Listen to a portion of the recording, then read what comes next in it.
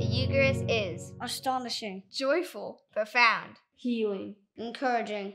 Just keep showing up.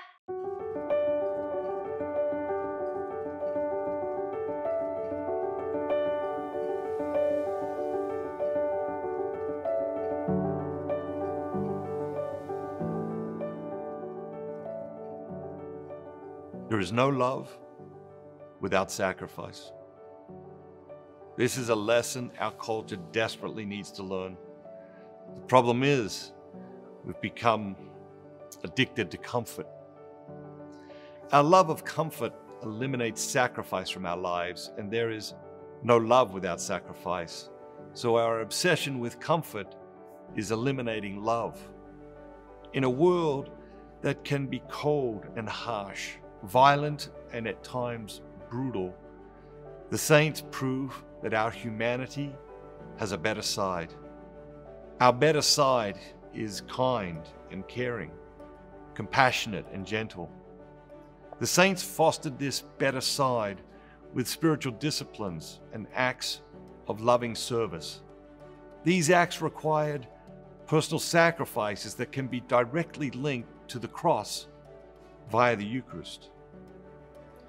Maximilian Kolbe demonstrated the power of love and sacrifice in the midst of the brutality of Nazi Germany. His moment of heroic selflessness was an epic demonstration of generosity. In the face of cold indifference, it was a moment of white hot glowing love. In the face of stunning brutality, it was a moment of gentle surrender. Kolbe was a priest in Poland during World War II.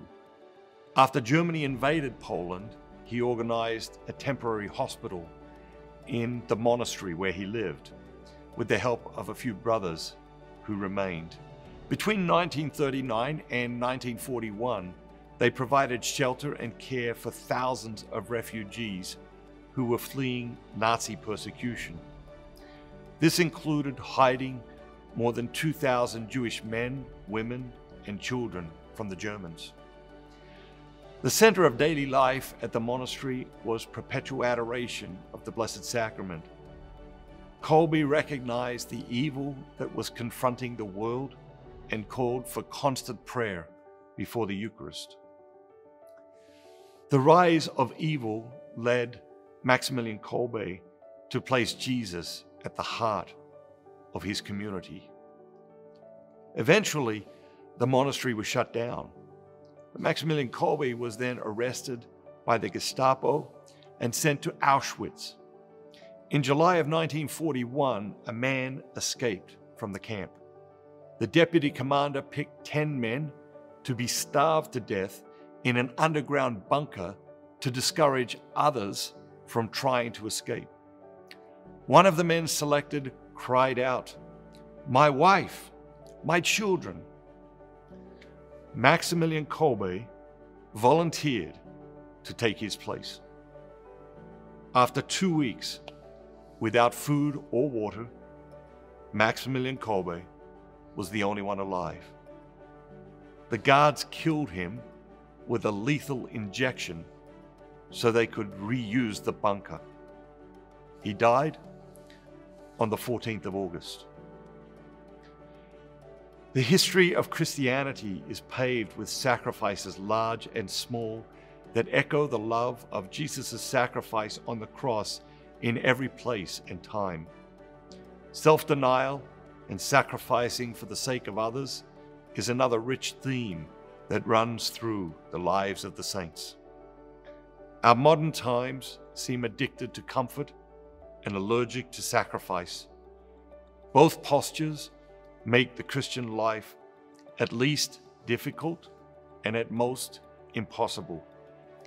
In order to love and love deeply, we have to be willing to give up some comfort and to take on some sacrifice. Love of comfort is a form of self worship. Let us set aside our fixation with comfort and worship the one true God by adopting the spirit of sacrifice that Jesus embraced on the cross. Our willingness to make sacrifices for those we love is one of the ways we give weight to the words, I love you. And where does the courage, the strength, and the grace to make life giving sacrifices come from? From Jesus in the Eucharist. Maximilian Kolbe had laid down his life in small ways for other people thousands of times before that day in Auschwitz. You and I may never find ourselves in a situation like that, but each day is filled with opportunities to take someone else's place. Each time we do, that is a holy moment. It is a Eucharistic moment. What small sacrifice are you willing to make today for somebody else? Trust, surrender, believe, receive. There is no love without sacrifice. Become a member of the International Society of the Eucharist today. We'll send you a free copy of 33 Days to Eucharistic Glory, a copy of the children's version, a copy of the limited edition journal, which includes an amazing Holy Week retreat. Click on the button below and become a member today.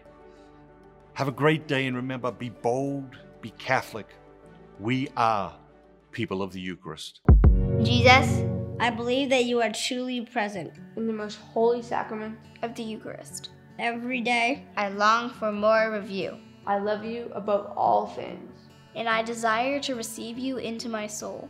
Since I cannot receive you, Sacramentally, At this moment, I invite you to come and dwell in my heart. may the spiritual communion Increase my desire for the Eucharist. you are the healer of my soul. Take the blindness from my eyes, the deafness from my ears, the darkness from my mind. and the hardness from my heart. Fill me with the grace, wisdom, and courage to do your will, in all things. My Lord and my God. Draw me close to you. nearer than ever before. Amen. Consecrate America to the Eucharist. Bye bye. Have a great day. Have a great day. Have a great day. Come on. Have a great day.